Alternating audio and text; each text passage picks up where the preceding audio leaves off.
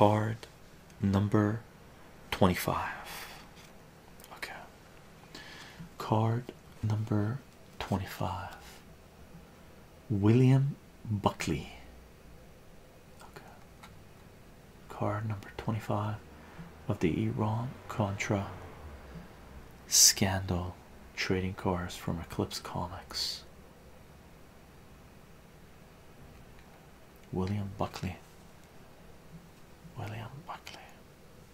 And these came out in, as before, 1988. Okay. Card number 25 CIA Station Chief William Buckley.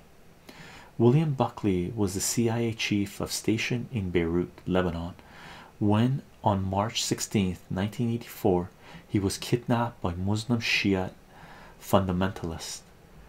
His abduction sent shock waves through the intelligence community, for Buckley was the CIA's top terrorism expert.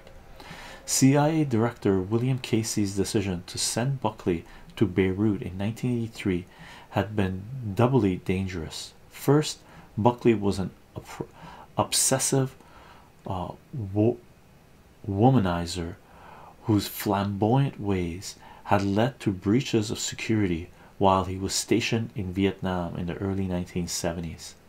Second, his cover had been blown in Pakistan in 1979 when Muslim fundamentalists had ransacked the US embassy in Islamabad, gaining access to high secret US intelligence.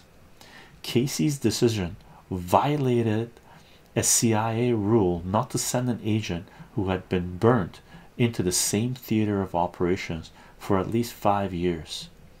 In November 1984, ex CIA agent Theodore Shackley, CCAR 24, who had known uh, Buckley in Vietnam, went to Hamburg, West Germany, to meet with uh, Manucher Gor Ghorbanifar, CCAR 26, an exiled Iranian uh, wheeler dealer living in Paris who claimed he could arrange an arms for hostages ransom deal for the release of Buckley.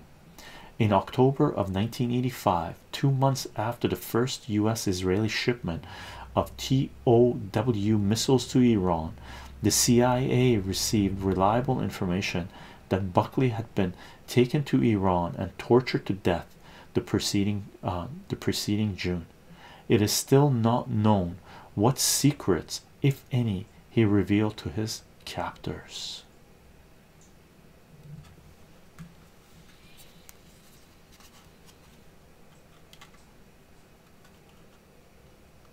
William Buckley. William Buckley.